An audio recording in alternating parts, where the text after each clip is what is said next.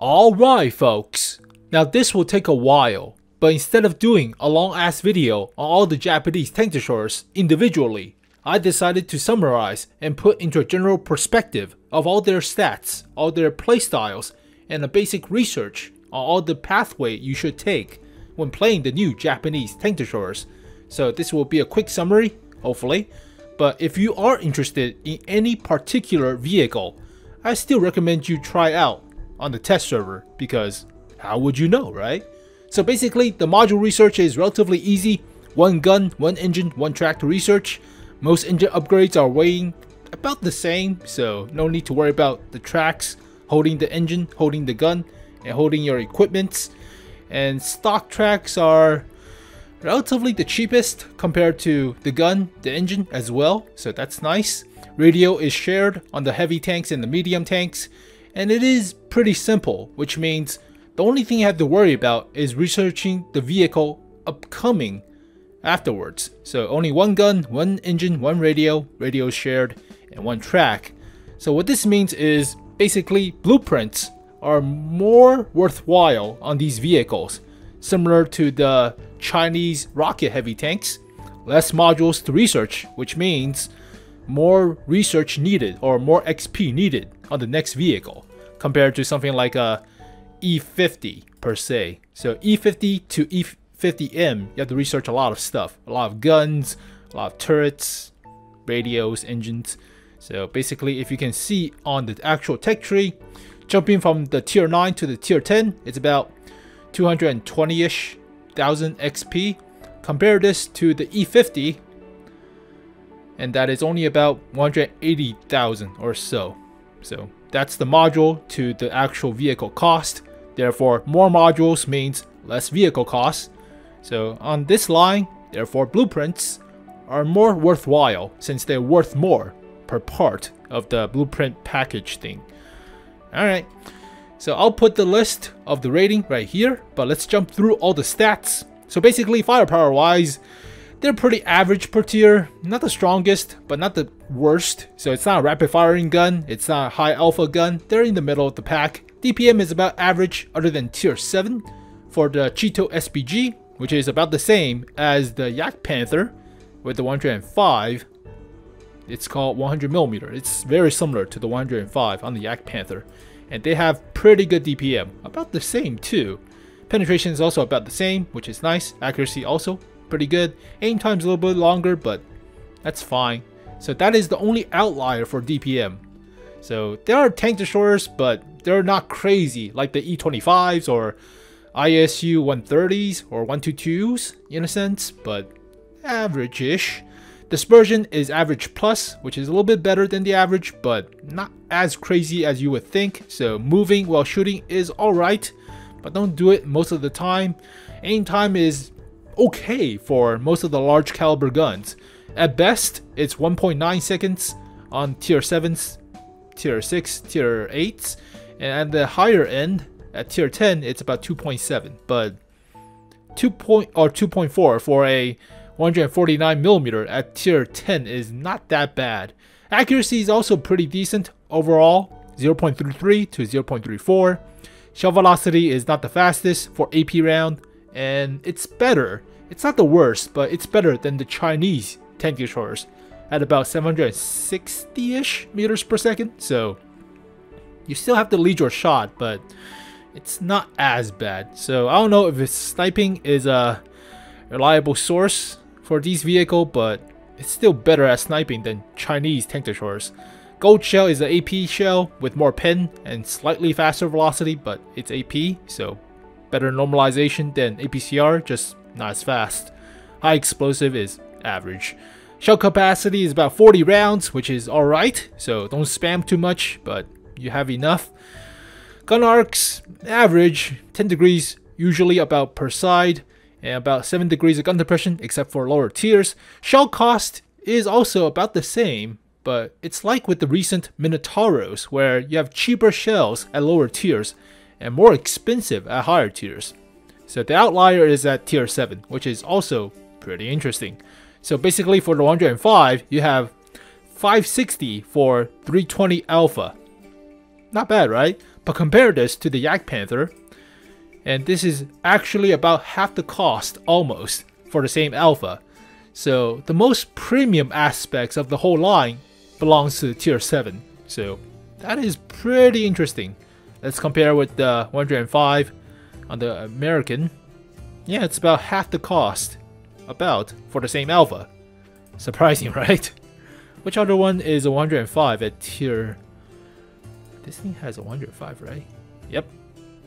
Half the cost compared to the T28 concept. This thing is a 100mm with a little bit less alpha, but still about cheaper than the 100mm on the AMX. So this, this is the actual one compared to the rest of the line. So tier 7 is more like a premium in terms of shell cost compared to tier 10 or tier 8 of course. But let's quickly compare to tier 10 for 700 alpha. It costs 2000. Compare this with a Grille 15. Yeah, it costs more. it costs more like 25 25% more or 33 30ish percent more for just 50 less alpha. Holy yeah it's not more worthwhile playing at high tier. Similar to the minotauros for some reason. Yeah minotauros have a high cost too. For 3 or for 530ish it costs still. Remember that's the same cost. 1600 is the same cost as 700 750 on the Grille 15, but the Minotauro only deals 530. So they have a more expensive show cost for some reason. so, alright, fine, whatever. Mobility wise, at best, 40 ish kilometers per hour top speed. At worst, 30. 30 belongs to the tier 8, so bleh, they're not fast. But reverse speed is alright, 15 to 18, so you get 18 on the tier 10, which is not bad. Horsepower per ton is usually about 15 or so, so it's okay. It's like a fat medium tank to rev up, but tier 6 is the outlier. And tier 6 has only 9 horsepower per ton ratio. That is that is not good.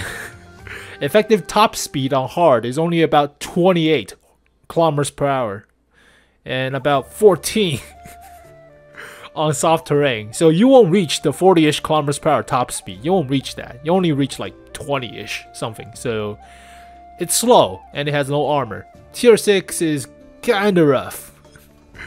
kinda. And terrain resistance, usually about 1 for hard, 1.25 for medium, and 2.3 for soft. So, like a freaking medium tank-ish, fat medium tank. Not as good as the Russian mediums at about 0.7 and 0.9 and 1.4 in terms of stats. So, yeah, fat medium tank. Armor is only good on superstructures. They're still flat and doesn't apply to lower tiers, obviously. Easily, easily penetrable side armor at only about 50-ish on hull sides. And hull armor at the front are still pretty much garbage. Already took a look with a glimpse of these vehicles, but god, they suck. you already know for the tier 10, the frontal hull armor is about 200mm effective. Actually 180, 190-ish. It's not good. It's a slope 100 millimeter. You can get that from a freaking medium tank. like a T-44 or T-54. No, it's, it's garbage. Terrible. You have good superstructure, but they're flat at 300. So Gold Shell will still go through. And you have some parts of the mantlet which are weak too, only 56. Questionable, right? Yeah, these armors are not good for assault guns. So you could be hauled down at about 300 meters, or I wouldn't say 200 or less, but yeah, you could provide some cover to your heavy tanks while hauled down at a distance, but these are not assault guns. These are not. Only fifth 50 or 45 at this little lip, but you'll likely overmatch with large caliber guns or just penetrate the 45 right here. 120 right here. Ugh. Yeah, these armors are pretty, pretty crap. so they have still weak spots on lower tiers like the Commander Cupola and rangefinders and stuff, but 100 for the Commander Cupola. And this is only 50. Ugh, terrible. So these are not assault guns. These will provide some protection at a distance, but don't rely on it. Definitely don't rely on it. Not even close. Uh, 250 for tier 7 is not bad, but yeah. You still have a commander cupola that's pretty big. Upper plate is actually about 281. Not bad. This is actually better than the tier 10 on, a tier 7. Oh, God. So armor-wise, don't depend on the armor. They, they, they not that good. And about 35 to 40 on the roof and engine decks. And these are pretty big vehicles, right? So don't get shot by artillery. That sucks. Commander cupola weak spots. Yeah. Health is average plus, which is nice. Not the greatest like a heavy tank, but they're a little bit above average. So basically, if it's 1000 health average for a tier 8 tank destroyer, these usually have about 1400. So a little bit above average, but not as high as a heavy tank. Surprisingly higher engine health, module health wise. It's at 360 for the higher tiers. So basically you don't have a damaged engine as frequently as other tanks, surprisingly. So compare this to like a Jagdtiger. You have higher engine health by 100 hit points. So it is based on module damage from calibers, but so you're less you're less likely to get engine damage, which is surprising, alright? Weight is actually average plus, and some of these vehicles weigh like 70-ish tons, 80 tons. So don't go ramming these vehicles. Bad idea. Just don't ram Japanese heavy tanks or tank destroyers, for that matter. But yeah, 45-ish tons at tier 8. It's, uh, it's not bad, but yeah, higher tiers, higher weight. Camo is about 17% at lower tiers to about 12% while stationary. Uh, I mean, it's like a medium tanks to fat medium tanks practically. So not the best camo as expected out of something that huge. View range is actually average plus about 10 meters more per tier, which is good. And a full 6 man crew with 2 loaders to take advantage of the new crew skills. But overall, alright, let's just go through each and every tier. Tier 5 is like a martyr. The Ho-Ni, Miso Ho-Ni. it's like a martyr-ish based on the Chini chassis from tier 2 or tier 3, but it's a 75 millimeter. 75 millimeter. I mean, penetration is alright. It's like a Stug at 150. And overall, decent accuracy, good aim time. Just not the fastest in terms of speed. It's alright. It's at 40-ish kilometers per hour and 16 horsepower per ton ratio. View range is kind of low, but then again, it's a low tier tank destroyer. It's like a, it's like a 5.5. Actually, it's not bad. I mean, with the with the rapid firing gun at about 2000 DPM, with that accuracy, that aim time, downside to it is, I say ammo capacity, but shell velocity is alright. I would say maybe a six, based on the based on the actual accuracy and the penetration. 150 at tier 5 is pretty good. It's okay enough. Tier 6, slow. Definitely slow. Not bad accuracy, not bad not bad aim time. Penetration is alright. It's a 105? Yeah, it's like a 105 compared to the Dicker Max or... Uh, what other have 105? Is that... That is a weird caliber at tier 6. Usually they have 122s. The ARL has a 100 or so? Let's see, let me see the ARL. Actually, it's only a 90 or so. Long ass barrel, 90 millimeter. Pretty much. Yeah, 90. Oof. Alright, Dicker Max is likely the close. Yeah, 300 Alpha. Uh, about the same DPM. Better accuracy while moving. That's good. You carry more, more rounds and it flies faster. Downside to this is the horsepower per ton ratio suck yeah, this thing is slow. And it has no armor, so it cannot be a tortoise or a turtle, whatever.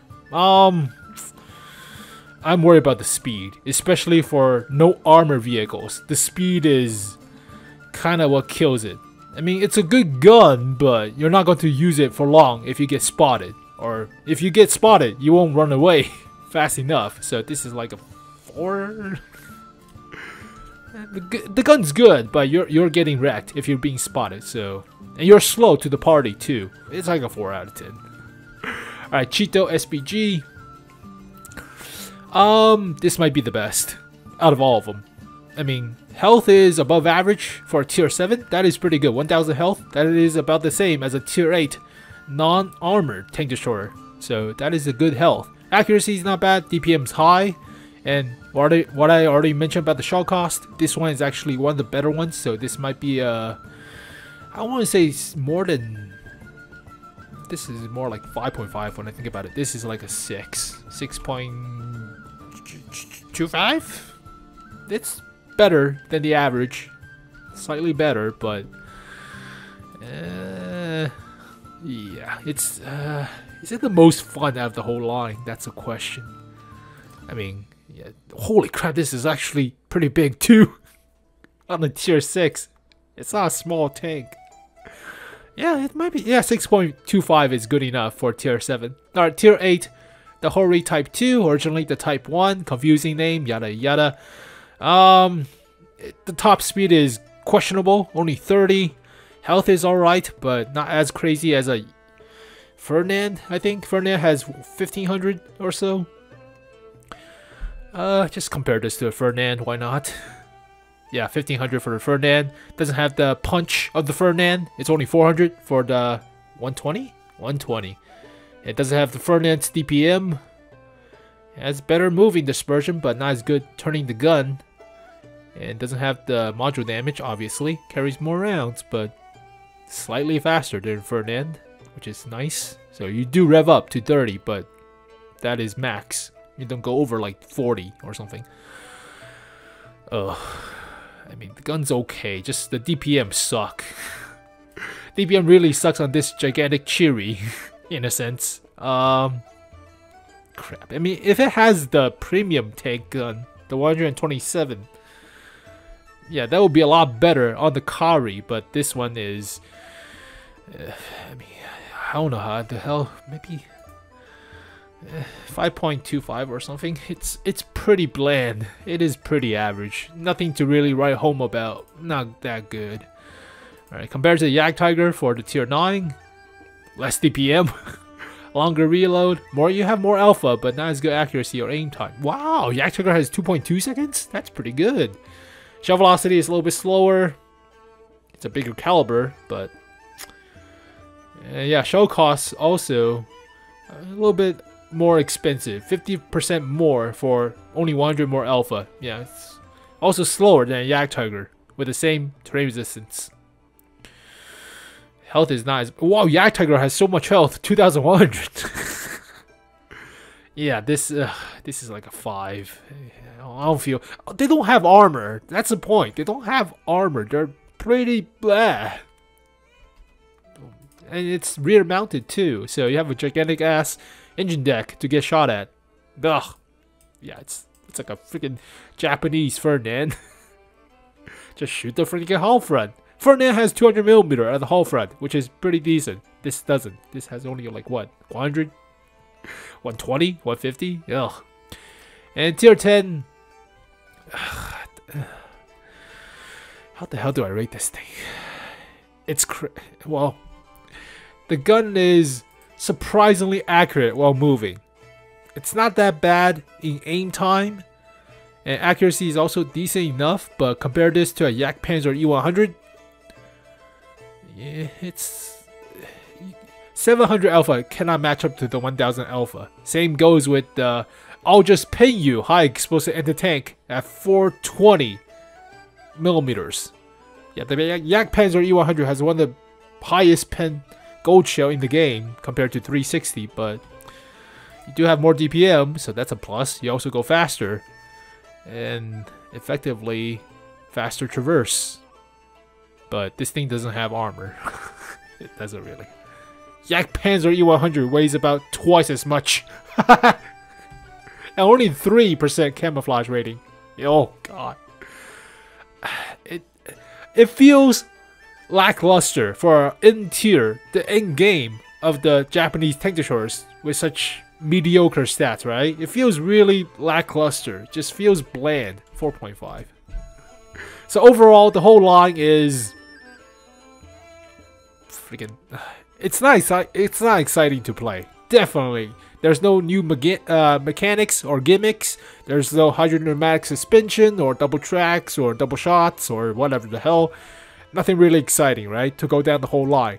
The Japanese heavy tanks have their style of being super big pinatas that is not that menacing if you don't have gold shell. so if you're playing against some scrubs without gold shell, yeah, Japanese heavy tanks are pretty interesting, but everybody spams gold. Japanese medium tanks are interesting, mostly because the STB is pretty good, right? But yeah, these tank destroyers feels pretty bland. I mean, even with the Chinese rocket tanks, yeah, they're they're not that good with the commander cupola weak spots and stuff, right? But it surprises you with the rocket boosters ramming you for some damage. Out of the blue, right? It is surprising, and the gun's alright. I mean, you don't have to grind that much compared to other tanks with the heavy tanks and stuff, so surprising, but you have a weird weird gimmick that might be interesting. Whereas the Japanese tank destroyers are it feels like the Chinese tank destroyers too. Chinese tank destroyers are pretty crap too. I mean, their shell velocity is low, as well as they have only armor on the superstructure, no armor on the lower plate, and some of them even have Commander Cupola weak spots, like for example the Tier 10. That's a that's a weak spot negating your entire armor. Yeah, your armor's good, about 300 plus for the superstructure. About 280, fine, 280 or so. But you have a Commander Cupola weak spot, just shoot the weak spot, or shoot the lower plate. Ugh, terrible. So overall, I would say Japanese tank destroyers are... I would say 4.75. it's it's not exciting. I mean, with the Minotauros, you'll have a better time, right? With the recently introduced Minotauros, you have slightly better time with the interesting autoloader mechanic or any other tank destroyers recently introduced. Holy crap, we haven't had a tank destroyer line for a while. I mean, we originally thought the the Czech tank destroyer line were coming with the ship TVP 100, but holy crap! It is the first tank destroyer line in a while? For us, holy crap. I mean, we usually have medium tanks or heavy tanks. Other than the Minotauros. Holy cow, what was, what was the tank destroyer line before the Minotauros? Like Swedish? S-tanks? Or Chinese tank destroyers? Which one's later? Chinese tank destroyers. Yeah, they're pretty crap. Well, there you go, folks. 4.75 for the whole line. The best tank, tier 7. Tier 7 is pretty much the best one in my opinion. Yeah, you have the gold shell advantage or the gold cost or uh, shell cost advantage. You have the DPM. You're not that slow, and you have some armor to work with. So the best one, tier seven. The worst one, I feel you have a worse time at tier six, but the tier 10 feels the most uh, lackluster, most disappointing at tier 10. So tier 6 and tier 10 pretty much tied.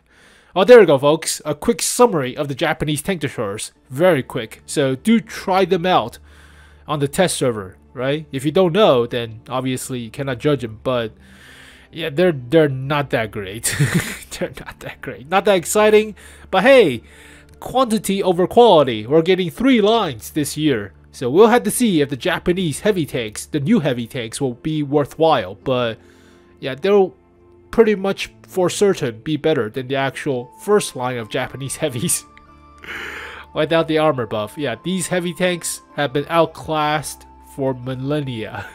so the new heavy tanks will be pretty much more exciting, hopefully. They're like larger STBs in a sense, but that'll be nice. Other folks. As always, thank you guys for watching this video. Hopefully you guys enjoyed it. I'll see you guys next time. Peace.